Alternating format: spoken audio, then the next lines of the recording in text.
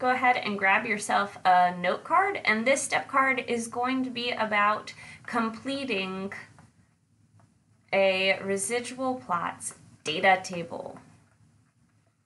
Right with me, that's what goes on the front of your card.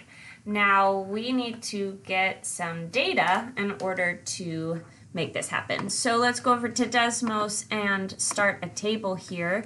And we are going to enter Doodat into one of those eating contests and record his um, number of kilos he was able to eat on each of his training attempts for one of those eating contests. So you are going to pause the video if you need to and transfer this table right here onto your card on that side right there.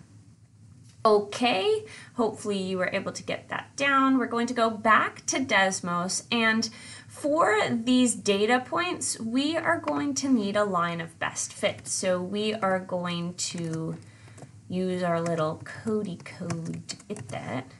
And there it generates that y equals 0.25x plus 1.9.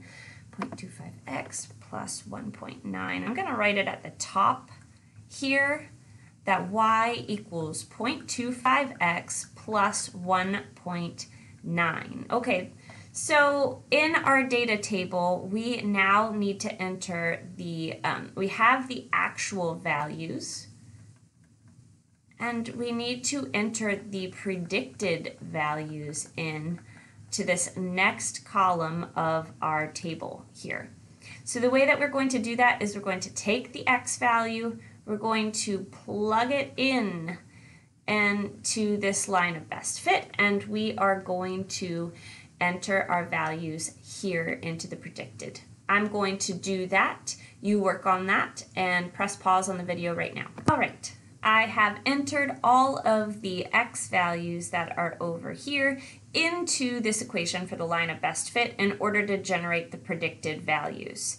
In the last step card, we saw that residuals were found by subtracting the predicted from the actual. So this table is set up in a nice way where you can take this number right here, the actual value, minus the predicted value here, and you will generate the residual values. Go ahead and finish that out for yourself on this step card if you need to, or make a note that you are going to do actual minus predicted, and that is how you complete a residual plots data table.